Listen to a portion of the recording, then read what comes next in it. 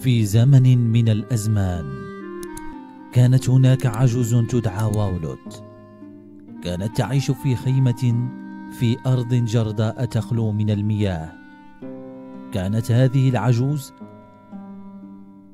تقتات من عنزة تملكها حيث كانت تعيش على لبنها. وكانت تربي أيضا كلبة لديها عدد من الجراء.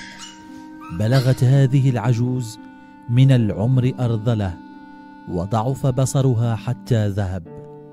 فعاشت وحيدة فاقدة للبصر في خيمتها.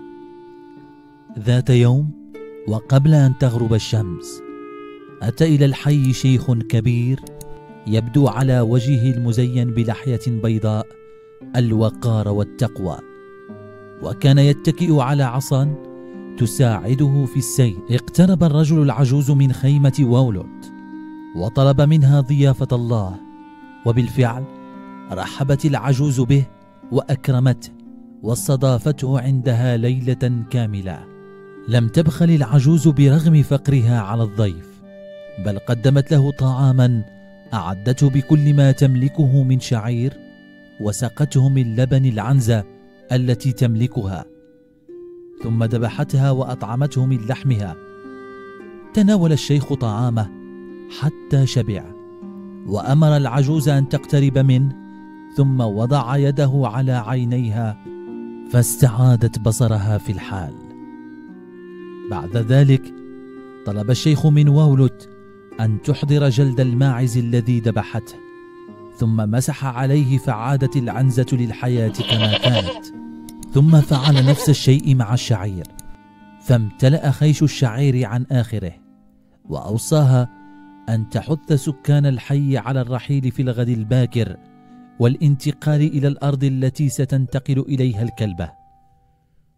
أمضت العجوز وولت ليلتها في فرح شديد وفي دهشة كبيرة أيضا من أمر هذا الشيخ المبارك وفي الصباح غادر الشيخ الخيمة بعد أن وعد العجوز بالخير الوفير إذا عملت بما أوصاها به.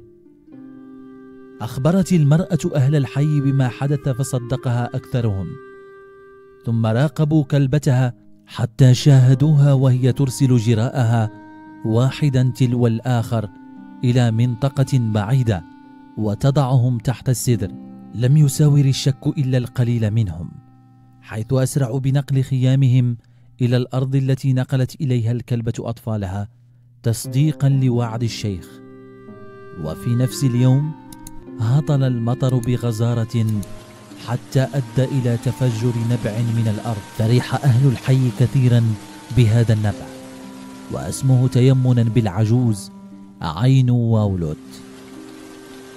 تداولت الألسنة قصة الشيخ والمرأة العجوز على مر العصور حيث قال البعض أن الشيخ هو سيدي عبد القادر الجيلاني الذي كان قد جاء من بغداد. فلما مر بهذه الأرض الجرداء وشاهد ما يعاني منه هؤلاء الناس من الجفاف وضيق العيش هرع إلى إكرامهم بهذه العين لتفتح عليهم أبوابا من الرزق من خلال الزراعة. بنى أهل الحي بعد ذلك مقاما للشيخ اعترافا بصنيعه واسمه مقام سيدي عبد القادر الجيلاني حيث يزوره الناس من كل حدب وصوب وتعد فيه الولائم للفقراء والمحتاجين.